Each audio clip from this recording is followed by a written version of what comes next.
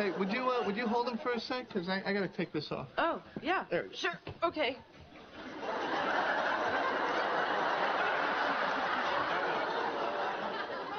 What are you doing? Uh, I'm holding Ben. Yeah, well, he's a baby, not a bomb. Okay. Well, just hold him like you'd hold a football. This is how I would hold a football.